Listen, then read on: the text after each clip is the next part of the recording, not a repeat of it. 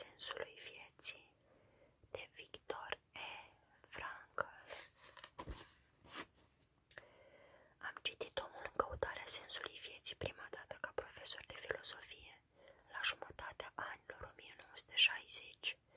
Mi-a atras atenția asupra ei un filozof norvegian, el însuși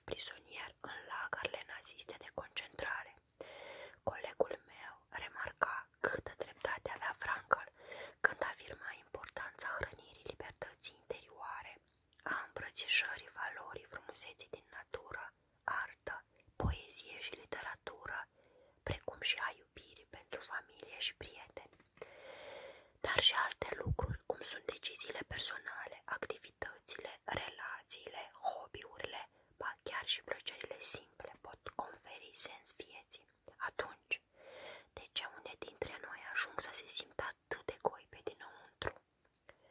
Merită să subliniem înțelepciunea lui Frankl în acest subiect. E o chestiune ce ține de atitudinea cu care abordăm provocările și oportunitățile vieții, atât în domeniile, atât la dimensiune mare, cât și la dimensiune redusă. O atitudine pozitivă îi permite omului să suporte suferința și dezamăgirea, dar și să sporească bucuriile și satisfacția. Atitudinea negativă intensifică durerea și adâncește dezamăgirea, subminează și reduce plăcerea, fericirea și satisfacția, conducând chiar la depresie și boală psihică. Prietenul și fostul meu coleg Norman Cousins a fost un avocat neopozit al valorii emoțiilor pozitive în promovarea sănătății, avertizând asupra riscurilor pe care le prezintă emoțiile negative.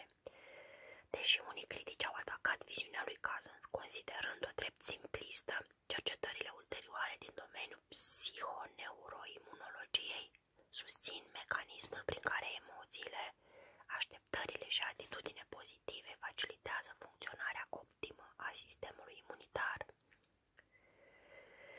Cercetările susțin și credința lui Frankl în capacitatea abordării tuturor aspectelor vieții, de la provocările care ne amenință viața la situațiile cotidiene, de a modela sensul existenței noastre. Adevărul simplu promovat cu atâta ardoare de Frankl dobândește o semnificație profundă pentru toți cei care îl ascultă cu adevărat. Deciziile noastre ar trebui să fie mai degrabă active, nu pasive. Când facem alegeri personale, ne afirmăm autonomia. Ființa umană nu este un lucru printre altele, pentru că lucrurile sunt codeterminante, spune Frankl, în vreme ce omul este în cele din urmă autodeterminant. El devine, în limitele înzestrărilor și ale mediului, ceea ce sigur a știut să facă din el. O disperare dintre cele mai negre, de exemplu, era cât pe ce să-l închidă pe un tânăr soldat israelian după ce și-a pierdut ambele picioare în războiul în depresie și cocheta cu gândul sinuciderii. Într-o zi, un prieten a observat că părea dintr-o dată mai senin. Soldatul a atribuit schimbarea prin care trecea lecturii din omul în căutarea sensului vieții.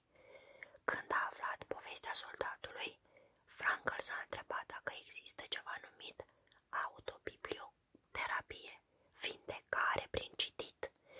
Dedicarea lui Frankl le poate oferi un indiciu care să explice de ce cartea sa are un impact atât de puternic asupra multor cititori. Persoanele care traversează provocări existențiale sau crize ar putea să caute sfaturi și îndrumare la familie, prieteni, terapeuți sau consilieri religioși. Uneori sfaturile ajută, alteori nu. Oamenii care sunt puși în situația luării unor decizii dificile s-ar putea să nu aprecieze într totul nivelul profund la care atitudinea lor intervine în luarea deciziilor pe care trebuie să le ia sau a acțiunilor pe care trebuie să le întreprindă. Cititorii aflați în căutarea de răspunsuri la dilemele vieții, Frankl le oferă o împuternicire esențială. El nu ne spune ce trebuie să facem, ci de ce trebuie să o facem.